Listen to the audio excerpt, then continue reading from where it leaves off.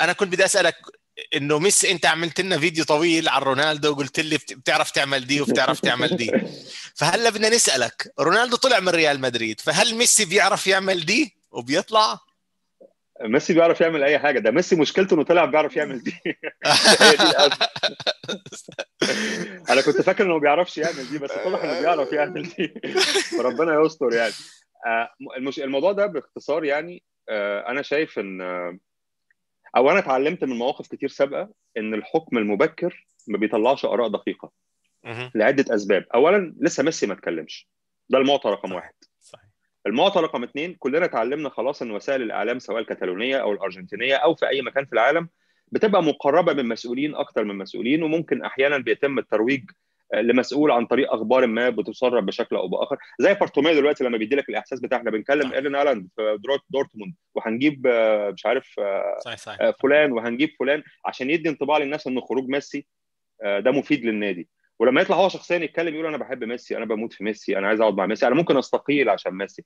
ف anyway إحنا ما سمعناش من من ميسي. وبنسمع من ناس إحنا مش واثقين قوي آه، في أجندتهم. فاللي هينتج راي دلوقتي هيحصل له حاجة. اولا الرأي ده بناء على معلومات غير مكتملة.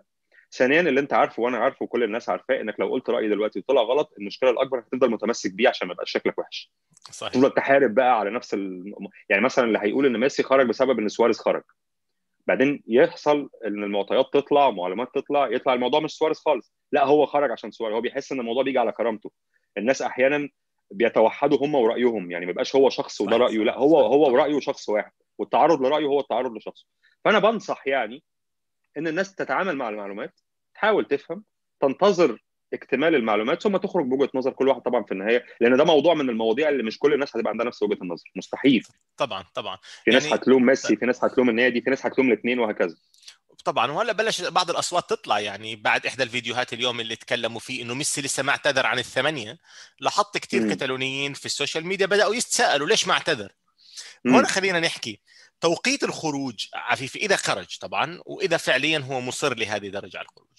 توقيت هذا الموضوع بعد خسارة بثمانية بعد خسارة الدوري وبعد خسارة الكأس وصفر ألقاب ما بتحس إنه في نوع إنه زي إني أنا رافع إيدي والسلام عليكم. يعني في نوع من الاستسلام.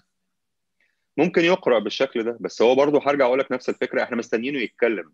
لأن أنا دلوقتي لما أشوفها من بره من بره خالص بدون أي معلومات أنت كابتن الفريق أنت قائد النادي مش قائد النادي في جيله الحالي. أنت لو نعم، لو بنحط صور أساطير النادي إحنا بنحطك في النص.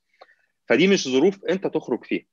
لكن لو هو خرج واتكلم وقال إن أنا بتعرض لظروف بقالها سنين وإن القادم هيكون أسوأ وأسوأ وأسوأ وأسوأ وإن كان من مصلحتي ومصلحة المشجعين ومصلحة النادي إن أنا أكشف الستار عن كل ده بخروجي يمكن تتفهم.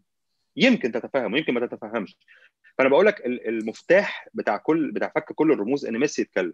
مش لما ميسي يتكلم الحقيقة هتظهر لا بس هيبقى عندك جانب آخر من الحكاية. وبناء عليها عواد هيبقى عنده وجهة نظر وعفيفي هيبقى عنده وجهة نظر والناس هيبقى عندها وجهة نظر وهكذا. لكن طول ما ميسي ما اتكلمش ودي وده عيب ميسي بالمناسبة انه ما بيتكلمش. صحيح صحيح. أو منتظر يمكن لما لما بارتوميو يخلص كل اللي عنده خالص خالص بعدين يطلع هو يتكلم. في كل الحالات الصورة هنا هتبقى واضحة ومن حق كل واحد يكون وجهة نظر بس امبارح عفيفي يعني لما تشوف أول ما طلعت ساعات الخبر واضح كانت في حرب إعلامية. صحافة كتالونيا اللي هي صحافة بارتوميو موندو هذول الناس عم ببثوا أخبار وصحافة الأرجنتين عم بتبث أخبار. صحافة كتالونيا عايزة أو صحافة بارتوميو عايزة تسفه وتتفه من ميسي. صحيح خرج صحيح. عشان سواريز خرج عشان كذا عشان يدي انطباع دايما للناس إن أنتوا بتتكلموا عن واحد مش مهتم بيكم ده واحد مهتم بأصدقائه. صحافة آه. الأرجنتين ممكن يكون بيتسرب لها معلومات من ميسي نفسه. طبعا أو ده الأقرب ده الأقرب للتصديق. بس في النهاية أنا منتظر إن ميسي يطلع يتكلم لأن ميسي لو ما طلعش يتكلم فأسوأ الفروض اللي بتفترض فيه هيستحقها. يعني لو أنا في الآخر صاحب الشأن في موضوع بالحجم ده أنا مش مؤيد إن كل واحد يطلع يتكلم في كل وقت. أنا بشوف إن السكوت أفضل من الكلام. بس في موقف زي ده لو أنت ما اتكلمتش ما ترجعش بعد كده تقول الناس فهمت غلط. لأن أنت حطيت الناس في صدمة كهربائية ما ينفعش وهم بيتعرضوا لها تبقى أنت ساكت. طيب أنا شخصيا متوقع يحط صورة هيك له ذكرى ويقول كلمتين وخلص ما يحكي لنا شيء عن ميسي. يعني أنا متوقع خلاص ساعتها ساعتها ساعتها كل الظنون السيئة فيه هي ما يقدرش يلوم الناس عليها. مش هيقدر يلوم حد عليها. بما فيهم مشجعين برشلونة. كتوقع عام عفيفي خلص نعتبر إنه ميسي للأسف برا الليجا. آه غالبا بالشكل ده غالبا آه الموضوع يعني المهم إن بارتوميو طلع بيقول لك أنا أتمنى أشوفه في في باريس أكتر من السيتي. بقى له رأي كمان في الموضوع. يعني الراجل مش الراجل مش مكفيه يعني الراجل مش مكفيه كل اللي بيحصل ده. ده عايز يدي لك مزاج بقى. أنا مزاجي كمشاهد كده نتفرج عليه في باريس. يا عم أنت مالك؟ لا أنت بارتوميو مالك فعلاً. بارتوميو بعد برشلونة نائب رئيس ريال مدريد direct لا ده رمز. النائب ده بيجي ويمشي. لكن ده رمز ده, ده رمز فعلا. ده راجل تسلم ده راجل تسلم فريق مكتمل عناصريا وفلسفيا. يعني الفريق ده على مستوى العناصر مكتمل وكلهم عارفين إيه الكره اللي المفروض تتلعب والفريق ده بيلعب في ال Champions League زي ما هو عايز بيروح يكسب في البرنابيو زي ما هو عايز بياخد الليجا في أسوأ مواسمه. يعني موسمين فالفيردي دول ما تقدمش فيهم أي كورة بأي شكل وبياخد الليجا عادي جدا.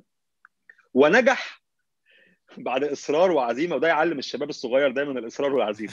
بارتوميو بس بإصرار وعزيمة وباولينيو و- وكيفن برينس بواتينج و- ومالكوم و- طبعا. وكل, وكل بذل مجهود كبير جدا عشان يوصل الفريق للحالة اللي إحنا شايفينها النهارده دي. آه لا بصراحة بارتوميو اللي عمله يعني عبقري عبقري من الناحية الإدارية عبقرية. ما زلت أنا لا، مش. فاهم مش فاهم له ولا قرار. نموذج نموذج كفاح نموذج للكفاح. طيب لنفرض بما إنه بنحكي ميسي طلع لو أنت كنت رئيس برشلونة أو مم. مش مش بارتوميو طبعا يعني اعذرني يعني مش برت... رئيس برشلونة بده الله يفكر صح. الله يسامحك. آه أنا عارف أنا آسف يعني أنا آسف. إيه، لو أنت رئيس برشلونة بده يفكر صح. إيه، شو طريقة تعويض ميسي؟ هل حتعوضه أول موسم ولا تقول لا الموسم الأول لازم أترك فوضى أشوف شو بيصير؟ عشان أعرف زي ما عملوا ريال مدريد. نترك. الدنيا بدون رونالدو عشان نشوف وين مشاكلنا بدون رونالدو. وبعدين السنة الجاي بنشوف مين بديله. اولا عملية تعويض ميسي عملية مستحيلة. تعويض ميسي بلاعب هي عملية نعم، مستحيلة. 100% والسير والسير في الطريق ده هيضيع منك وقت وهيضيع منك فلوس وهيخسرك ألقاب وهيحطك في مشاكل أكتر من اللي أنت فيها.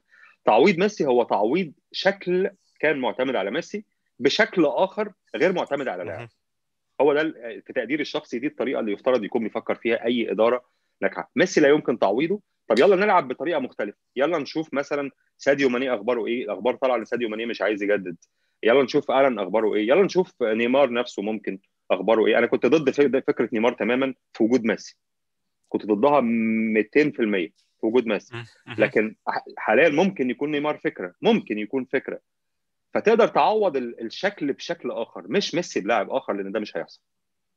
جميل. يعني الله يعينكم لأنه بصراحة الصفقات تاعت برشلونة بدك تفكر فيها الفريق يعني أكثر فريق خسر في تاريخه لما يبيع 220 مليون يعني خسر أنا 400 أعتقد بالطريق. أنا أنا أعتقد إحنا هنرجع ياري مينا فده هو ده الرد على الصفعه هن- هنصفع هنصفع ال Premier League على وجهه وهناخد منهم ياري مينا طيب أنا في فيديو انتشر للكابتن أحمد حسام ميدو وبتكلم عن كومان وإنه فعليا مستفيد من خروج ليونيل ميسي. هل بتشوف المدرب الجديد اللي جاي بده يكون مستفيد من غياب ليونيل ميسي؟ وهل هو فعلا لو ضل ليونيل ميسي كان حيتصادم معه؟ في تقديري آه. المدرب الحالي مستفيد من خروج ميسي لعدة أسباب. اولا مشاكل برشلونة أكبر بكتير من إن يحلها ميسي. وده ثبت خلاص في الموسم الحالي. في. وجود ميسي أنت ما خدتش الدوري وخرجت من الأبطال بفضيحة. فوجودك هيبقى شبه وجود ستيان كمدرب جديد. لكن في حالة خروج ميسي أنت الضغوط كلها اترفعت من عليك لأنك أول أول ما حد هيكلمك أو هينتقدك هتقول يا جماعة أنا استلمت فريق بيعتمد من 2009 على أفضل لاعب في التاريخ وإن ما كانش أفضل لاعب في التاريخ عموما من وجهة نظر الجميع فهو أفضل لاعب في تاريخ النادي على الأقل من وجهة نظر الجميع دي اللي عليها إجماع. واللاعب ده فجأة ما بقاش عندي فلازم يحصل دروب ارجوكم تقبلوه. بالتالي هيبقى عندك مساحة أكبر إنك تجرب وتغلط وتخسر ومحدش يلوم عليك. اللوم دايما هيبقى على فكرة رحيل ميسي سواء اللوم اللوم على ميسي نفسه أو اللوم على بارتوميو. بس في النهاية أنت كمدرب آه أنت طالع للناس تقول أنا معايا أدوات أقل أعمل لكم إيه. فالناس هتبتدي حتى تبقى تصبر عليك أكتر. ده دي نقطة. النقطة الثانية التعامل مع ميسي بالتأكيد صعب في أوضة اللبس. بالتأكيد صعب. مش ميسي. طبعا. ميسي كريستيانو رونالدو نيمار إمبابي حتى اللي هو لسه صغير. طبعا. اللعيبة عند حجم معين بيبقى حجمهم أكبر من إنك تستوعبهم لأن الموضوع ما بقاش زي زمان. أنت اللعيب ممكن يصحى الصبح يقول لك بقول لك إيه سلام عليكم. في باريس سان جيرمان في مانشستر سيتي في مانشستر يونايتد في يوفنتوس في أي حد ايا كان أنا فين أقدر أنتقل منه لمكان تاني. أنا مش مجبر أضيع من عمري وقت مع واحد مضايقني أو بيرهقني طبعا طبعا. بمنتهى البساطة. وده السبب اللي أنا كان مشككني شوية إن ممكن جوارديولا يعرف يشتغل مع ميسي النهارده. يعني جوارديولا اشتغل مع ميسي زمان. آه. رجع له ميسي الوحش الآن. وهو يعني ميسي اتغير وجوارديولا اتغير. يعني ميسي مم. اكتسب قوة ونفوذ وشهرة و و و و و أضعاف مضاعفة عن ميسي اللي سابه جوارديولا سنة 2012 وجوارديولا بقى mechanized جدا كمدرب وبقى بيعتمد صحيح. على الخطة والطريقة أكتر من الأفراد أكتر بكتير من جوارديولا 2012 صحيح. فالنهارده ده واحد تطرف أقصى اليمين وده تطرف أقصى اليسار. إزاي ممكن يجتمعوا وأنا مش عارف. بس يمكن يكون في حل. طيب شعبية الليغا وشعبية برشلونة خلينا نكون صريحين يعني كانت لفترة يطلق على بعض جماهير برشلونة الصغار في العمر أيام 2009 طبعا هلأ صاروا معظمهم بجوز حتى إعلاميين وصحفيين أطفال ودكاترة. اطفال أطفال 2009 نعم هلأ أطفال 2009 صاروا دكاترة يعني صراحة يعني بالعمر مش مراهقين 2009 يعني هذول الناس بدأوا يشجعوا برشلونة في ناس كثير بلشت تشجع برشلونة عشان ميسي ب 2006 و2007 أول بلش يطلع وبعد ما شاف مستواه. هذول الناس هل لما يطلع ميسي هل حيضلوا مكملين؟ ولا تتوقع في جزء منهم حيقول شكرا. أعتقد هي... هي... هيكملوا. أنت كل كل إنسان في العالم بيرتبط بنادي لسبب. ممكن لاعب ممكن جيل ممكن مدرب ممكن حالة ممكن قضية. في النهاية اللاعب بينتهي والمدرب بيرحل والقضية بتنتهي وكل الأمور دي بتنتهي وأنت بتكمل مع النادي. لكن هل الجماهير دي هتتعاطف مع مانشستر سيتي؟ لو راح مانشستر سيتي؟ في تقدير أنا آه أنا أنا حاليا بشجع مانشستر سيتي عشان جوارديولا. وبالمناسبة أنا بحب جو... أنا بحب جوارديولا أكتر من ميسي. فأنا م... أنا أنا هشجع مانشستر سيتي عشان جوارديولا لكن مثلا مش مش زي برشلونة مش هشجعه زي ما بشجع برشلونة. لكن هل هم هيكملوا؟ حتما هيكملوا. أو في اعتقادي يعني على الأقل هيكملوا. بتتوقع الليجا هتخسر كتير طبعا يعني من حيث الاهتمام طبعاً. الإعلام. خد بالك خد بالك لا ليجا أنت طبعا أكيد متابع ال social media بتاعت لا ليجا بكل اللغات.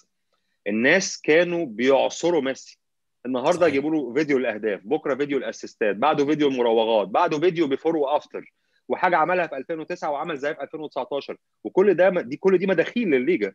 طبعا طبعا عن طريق ال social media وعن طريق الدعاية وعن طريق حقوق البث وعن طريق وعن طريق. فالليجا شخصيا عندها مشكلة النهارده بخروج ميسي بعد خروج رونالدو كمان. طبعا. لأن أنا أنا برضه عشان آخر نقطة في أنا حضرت مباراة كلاسيكو البرنابيو الموسم اللي انتهى اللي فازت اللي فاز فيه ريال مدريد. فواحد صديقي هو اللي ما كنتش عارف أجيب ال ticket هو اللي جابها لي. قال لي الموضوع بقى أسهل كتير من أيام ما كان رونالدو موجود.